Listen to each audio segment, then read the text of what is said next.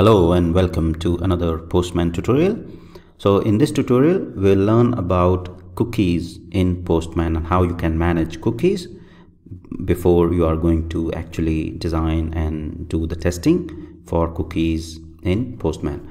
So before we go into details of cookies and how to manage cookies in Postman, I want to give you a brief understanding about the cookies. So cookies are nothing but the small files that are sent from the web server to the client. So for example, your browser and they store the necessary information. So for example, you are trying to shop online and you add the items in cart. Okay, so it is the cookie files that stores that particular information the items that you add. And next time when you close the browser without being logged on or even if you're logged on and you reopen uh, the browser you will still see those items still added in the cart. And this is all possible because of the cookie files that are being sent from the server to your client which is which might be your chrome or uh, and they are saved in your computer and once you access the browser again and you are again on that particular website or the e-commerce website you will be able to fetch the items that you have added previously. So this is one of the use case. There are many other uh, examples of cookies or the use cases that you will be using when you are actually testing uh, or doing the cookie testing. So we'll cover some of the other examples when we actually dig into the testing and start doing cookie testing in Postman. Now let's understand the cookie functionality provided by Postman. Postman provides you to manage the cookies for domain, add the cookie, edit cookie and uh, delete the cookie.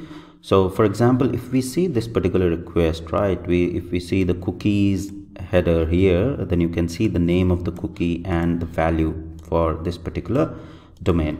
And in the header if you see that set cookie has been returned in the response from the server to basically set this particular cookie. So for example if we just delete this request let me delete all these requests and I won't save it. So let me copy this and close it. I won't save it and I'll create a new get request. Let me send this. And after sending this request if we go to the headers here you will see the list of temporary headers okay? And there is no cookie in this particular header. But if you see the headers in the first response here you will see set cookie header key has been set with the cookie that has been returned by the server okay? So set cookie is the key that is used to to set the cookies that are returned by the server and then this cookie gets saved in the cookies section of the postman as well. So cfd uid has been saved with the value um, that has been returned for that particular cookie. Now if you send this response again okay? Let's send it again now you can see in the temporary headers you will see the cookie has been saved already okay? And in the header it won't be sent again because that cookie has been already saved. The cookie that has been sent by the server uh, has been already saved in postman and that is why it hasn't been returned again. So cookie header is basically used to send the cookie from the client uh, and set cookie is to set the cookie in the postman. Now to manage your cookies you can go to the cookies link here in the right hand side and click cookies. And you can see whatever domains you have worked with all the cookies that are utilized in those domains have been saved here.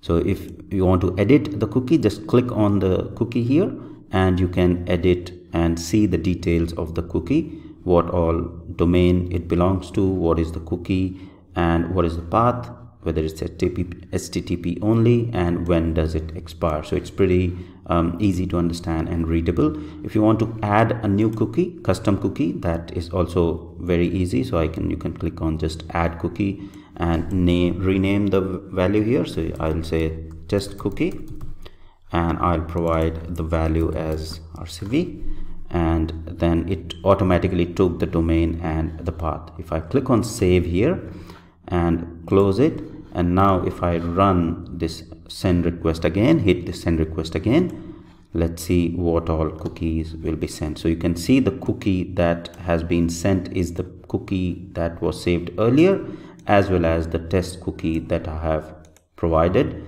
in the cookie in the custom cookie right? So now here in the cookie section you will see two cookies that are available. So postman provides it uh, the, the cookie different cookie section to help you to analyze what all cookies are being utilized and uh, help you in the cookie testing if you're doing the cookie testing for the API um, that is why it becomes pretty easy and comfortable if you are viewing the cookies in a separate uh, tab instead of viewing it in the headers or the temporary headers right? So that is manageable from here under the cookies section. Now to delete the cookie just go to the cookie section and to just click on the cross sign here to delete your cookie okay? And if you want to delete the domain altogether just click on cross sign and you will see cookies for domain google.com deleted successfully.